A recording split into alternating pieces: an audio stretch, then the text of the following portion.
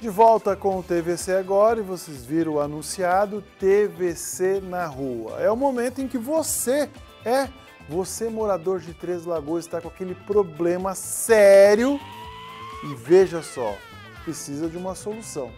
E neste calorão, temperaturas elevadas, baixa umidade relativa do ar, moradores da, do, da Vila Aro, do bairro Vila Aro, Parque São Carlos, estão sem água. Estão sem água. Acabei de falar no início né, do programa da reportagem. Não vamos desperdiçar água.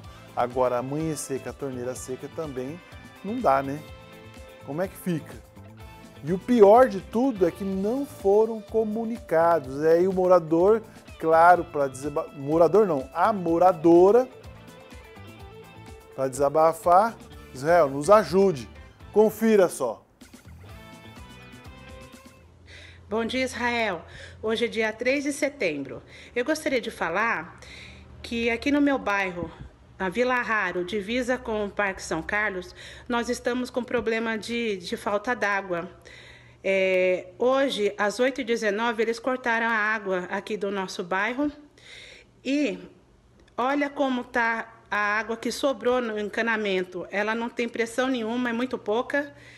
E nesse calor, olha só você passar amanhã precisando fazer várias coisas com esse fiozinho de água. Então eu gostaria de, de solicitar que a Sanisul usasse os meios de comunicação para estar informando os moradores dos bairros que vão ser afetados com antecedência. Tá joia? Muito obrigada.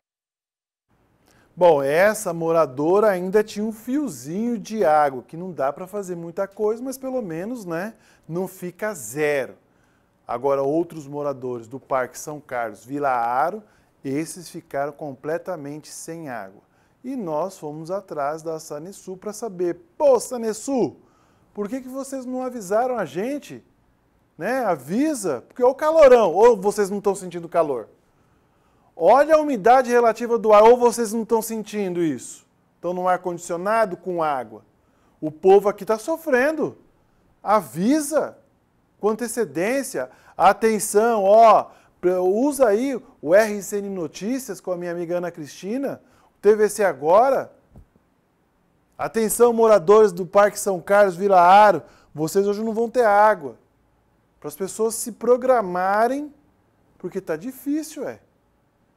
Aí nós ligamos lá na Sanesul, entrei em contato e falei, e aí, Sanesul, o que, que aconteceu?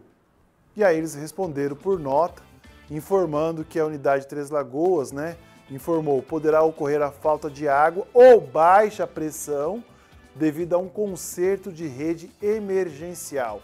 Os bairros afetados foram Santa Terezinha, Nossa Senhora Aparecida, Vila Aro, Santos Dumont 1 e o 2, Santa Rita, NOB, Jardim Brasília, Jardim Planalto, São João, Nova Três Lagoas 1, 2 e 3.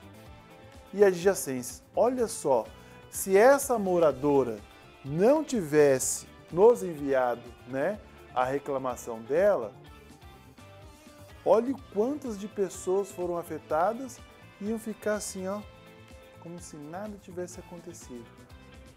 Brincadeira, hein, companhia de água e esgoto? Com brincadeira, hein?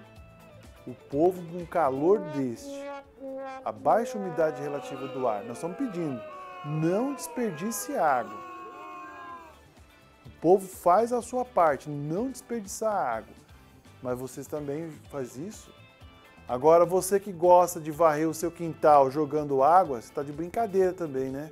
Pelo amor de Deus. Usa a água do, da, da máquina de lavar. Vou te dar uma dica. Receitas do Israel. Vamos clicar esse quadro, dona Mari.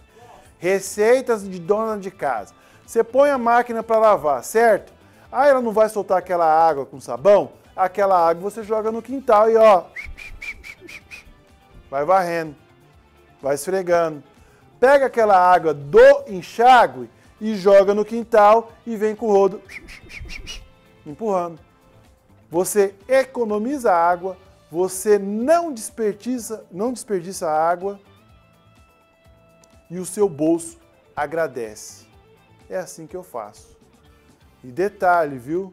Já aproveitando a deixa, nós estamos enfrentando não só uma onda de calor, mas estamos enfrentando também uma crise hídrica. Se você não sabe o que é crise hídrica, os rios do nosso Brasil estão secando. Fica aí o alerta. E para fechar a nota, a Sanesul falou, nos informou que a regularização do fornecimento de água será, foi agora meio-dia. Então, se você é desses bairros, mande para a gente um WhatsApp falando aí sobre se voltou ou não.